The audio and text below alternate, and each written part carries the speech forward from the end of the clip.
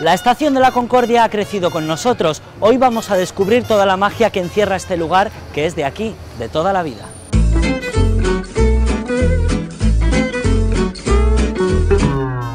Verónica, la estación de la Concordia lleva aquí exactamente desde... Este?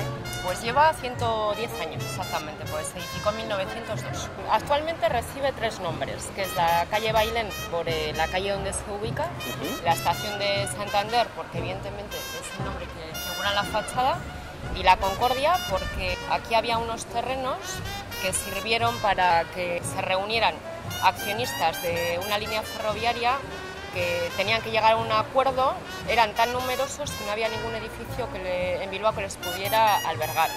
Entonces se decidió que se reunieran en unos pabellones que había aquí, llegaron a un acuerdo, solucionaron la disputa y entonces desde entonces se, llama La Concordia, pero nosotros hemos heredado ese nombre que era de los terrenos de la Concordia. Ajá. Y de eso os habéis contagiado y aquí reina la Concordia, ¿no? Aquí reina absolutamente la Concordia. Bueno, ¿y esta joya es obra de...? Es obra de la fachada del arquitecto Achúcar y la obra de, ¿De ingeniería? de Valentín Orbeña. Además, qué buenas vistas tenéis. Bueno, bueno, bueno. O sea, desde ahí arriba ahora vas a ver, pero en la Arriaga las mejores vistas desde nuestra estación. Bueno, pues me enseñas las vistas y lo que tenéis aquí dentro. Vamos allá.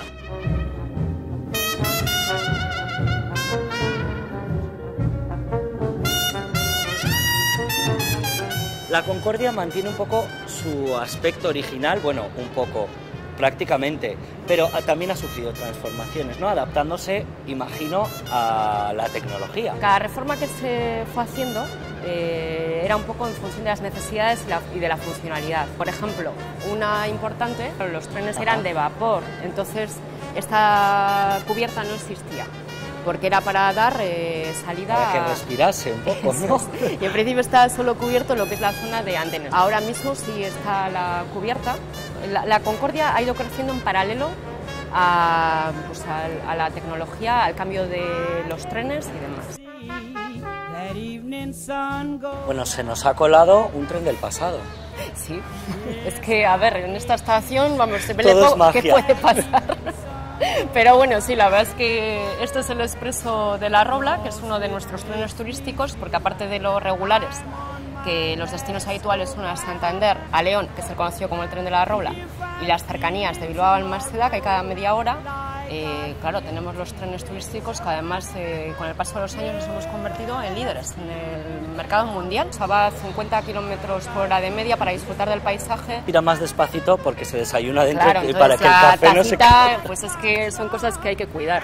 Y luego lo bueno es eso, pues que aunamos lo que es el el tren de época, la idea que se tiene, y sobre todo es el, que hemos recuperado lo que es el placer de viajar en tren. Verónica, como me has contado tantas cosas interesantes, creo que voy a volver a casa, pero en este tren me dejas, ¿no? Por supuesto. Vamos, eh, entra y el tren, vamos, que a tu disposición.